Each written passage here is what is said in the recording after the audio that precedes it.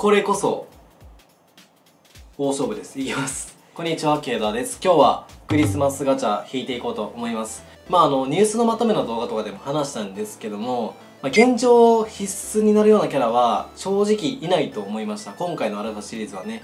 毎回結構魅力的には感じるんですけども今年の夏のアルファハロウィンアルファに比べると、まあ、一番なんかちょっと抑えめなのかなっていう感じはするんですが、えー、もちろん配信者というところで所持しておかないと何かね急にぶっ刺さった時に困るんで引いておきたいなと思います。はい。ではいきます。一応僕ハロウィンアルファの時はえー、と10万ぶっ破したけども伏せ姫アルファは出ませんでした。その代わり通常の伏せ姫があの星玉で初ゲットでしたね。ではいきます。あ確率表記見てなかったですね。すいません。であとちょっと音聞いてないんでストライクショット言ってたらすいません。であの止まれば確定です。あよかった。まずはいグングニルアルファですね。ゲットしました。意外とサグッと出ましたね。はい幸先は良きです。重心構えで出ました。確率表記見ます。まあ多分通常のガチャと一緒なのかな？どうなの？1%だったら違うっけ？通常って1.2%でしたっけ？あ1.2ですね。あの星6状態もありますから。1.2%よかったよかったよかった。じゃあまあ普通のガチャと考えて引いていきます。はい、まあ、できればあの温存したいんでここで、あのー、たくさん引きたくはないです。まあでもやっぱり一番の狙いは僕あの水属性が好きなんであのグリム兄弟ですね。クロススティンガーが魅力的なんで。欲しいです。おっとルリが出ましたね。ルリが出た。そろそろルリラック上がってきたんじゃないかな。じゃあここめちゃくちゃ大事です。頼むよ。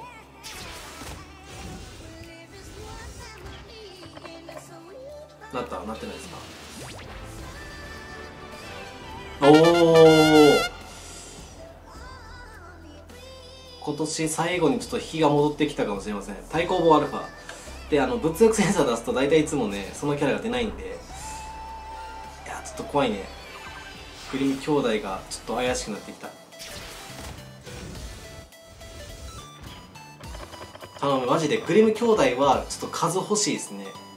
普通にやっぱりクロススティンガー強いんで。いやー怖い。ちょっと待って。うんこれがあるんですよね。はい。グングニラファが2体目出ました。でマジ頼みます。次止まればもう確定でグリム兄弟です。なってないね。はい。まあ、1.2%だから8.4の1.2は割と引きやすいところなんですよね。サタンが出ました。と言いつつ速攻違うキャラ出ましたね。はい。きます。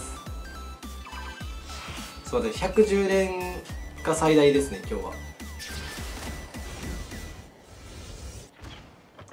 うん。ここまでずっと通常運転なはず。すいませんあのストライクちょっと言ってたらすいません。えー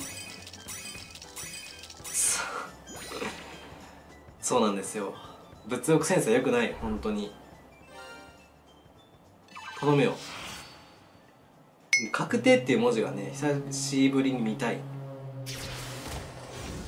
確定が見たい確定。お願いします。止まればグリム兄弟確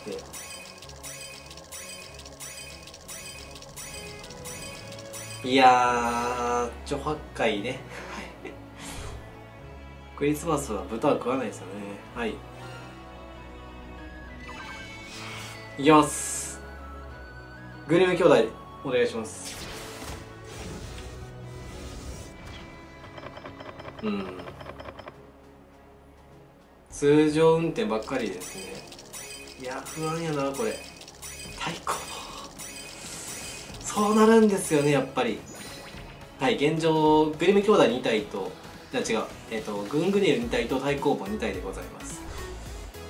いやマジでこうなるこうなる運命が見えていた。これこそ大勝負です。いきます。いやマジでこれ気持ちいいな確定。あの一番初期からあるんですよ確定っていうのは。うん。たくさんね確定演出増えてるんですけどもマジでこの確定は初期からあるんで。これはやっぱ気持ちいいですね。止まれば確定です。グリム兄弟。いや違う。まあ対抗棒ね後からちょっと話すんですけどもその性能とか話していくんですけど。お2回転めっちゃ久しぶりに見た。いやマジここここここここグリム兄弟。よっしゃいやマジで今対抗棒出ると思ったんですよ。めちゃくちゃ怖かった。無事コンプはできましたけどもう一体欲しいねこのキャラはちょっと。ちょっとオーブ温存したいところなんですけど。黒川また黒川さんまたオーブ。配ってくれますよねって信じてちょっと引きます。まあ黒川といえばオーブじゃないですか。あとガチャなんでちょっとねだります。もう止まらないですけどね。まあまあまあまあまあ。今回はまた引き良かったです本当に。まあ、オーブ500個分って言ったら3万円ぐらいなんですけどね。伏せ姫アルファはマジで出なかったんで。まあ、砲撃方って聞いちゃうと、うん、欲しくなりますもんね。はい。じゃあもうウーパーしちゃいます。はい。行きましょう。メリークリスマス対抗棒3体はちょっと厳しいね。なかなか使うの難しそうやけど見たらよし！いやクリスマスしてよかった。本当によかった。本当にあの今年ね引き悪かったんでギリギリちょっと最後にいい引きができました。はいということで無事ゲットできたんですけども引くべきかどうかとか性能云々見ていこうかなと思います。まずグリム兄弟アルファですね。はい。このキャラはマインスイーパーで回復 M アンチ元素壁飛行不要というところでまあ現状マインスイーパーでしかあまり活躍ができないキャラでございます。まあ今後にアンチ元素壁増えていくとは思うんですけども、まあ今後のことを考えると、このマインスイ元素壁マジで少ないんで、希少な部類にはなるんですけど、現状だけを見ると、マジでマイスイ枠としてしか、まあ活躍がほぼ無理です。貫通マイスイ枠で見ると、強キャラだったらローレライがいたりとか、轟がいたりとかいろいろいるんですけどその辺の同じマインスイーパー枠で強い友情コンボを持つキャラをたくさん持ってるよって方は正直まあ引かなくてもいいかなと思います、まあ、回復 M が今後ねあのー、アンチ元素壁と同時に活躍する場面があるかもしれないんで、まあ、高難度向けっちゃ高難度向けなんですけど個人的には結構好きな性能ですこの性能は。はい。まあ SS も実況化プラス味方無敵化なんで本当に甘いもん適正ですね。次グングニルアルファですね。このキャラは超アンチダメージオールアンチブロック弱点キラーの貫通タイプですね。はい。まあ一番活躍しそうな感じはします。まあでも現状ダメオブロックのめちゃめちゃ高難易度っていうところはそんなに出てこないんで、まあ、このキャラも現状どっかのクエストをぶっ壊すような性能ではないと思うんですけども弱点キラーが乗る追撃貫通弾結構強いし、まあ、スピードアップもあるんで非常に高難易度適性がもらいやすい性能だと思います。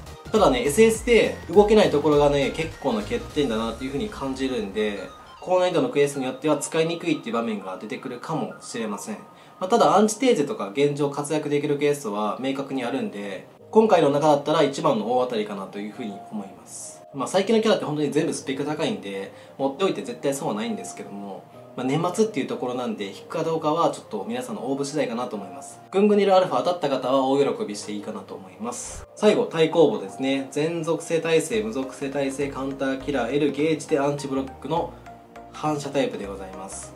友情コンボ。ラウンドフラッシュとランページレーザー EL 持ってるんです。けども SS で貼り付きができるんで、まあ、これと相性がいいかなっていうところでございます。はい。でまあ初のカウンターキラー L なんですけどアンチギミックがねアンチブロックしかないっていうところがまあ、使いにくさを表してるかなと思います。もちろんねその耐性持ってるから多くのクエストでは活躍できそうなんですけどダメージギミック全て食らいますしアンチ重力バリアとかアンチ魔法陣とかも無効化できないんでうんちょっと使いにくい場面が多いかなと思います。で通常のクエストだったら本当にまあカウンターキラー L とは言っても基本的には種族ばらついてるんでキラーもらいにくいですし、まあ、配置しないとラウンドフラッシュも効果ないんで降臨のクエストを周回する上では正直使い勝手めちゃくちゃ悪そうだなっていう風に感じました、まあ、その真珠の聖域とかで今後、まあ、種族が一緒のクエストとかたくさん出てくるといいとは思うんですけどただまあその降臨周回向けのキャラじゃないので通常使いは本当にないかなと思います。なんか12回使って楽しかったって終わりそうなんで、まあ、このキャラは一番この中で狙わなくていいかなというふうに思いました。はい。そんな感じですね。個人的には砲撃型のクロススティンが初ディストなのでグリム兄弟がかなり好きなんですけども世間一般的にはやっぱりグングネルアルファが一番の大当たりだなっていうふうに感じます。ただやっぱり年末年始っていうところでオーブ貯めておきたい方もいると思うしあの期間がね12月27日まであるんでまあ迷ってる方はギリギリまで待ってもいいかなと思いました。なんか黒川さんがねたくさん応募配ってくれたりするかもしれないんで。まあ現状すぐに物販する必要はないかなっていうふうに思いました。はい。そんなとこでございます。ではご視聴ありがとうございました。